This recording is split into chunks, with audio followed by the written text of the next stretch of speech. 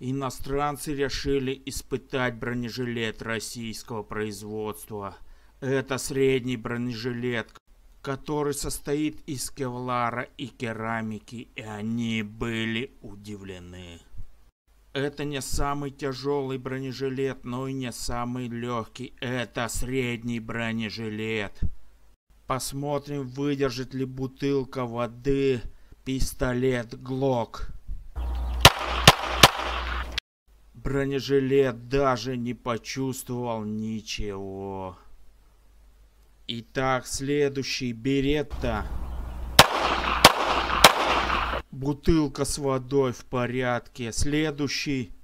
А это уже Смит Вессон. С каждым разом калибры увеличиваются. Осыпалась чуть-чуть керамика. Смотрим, что будет дальше.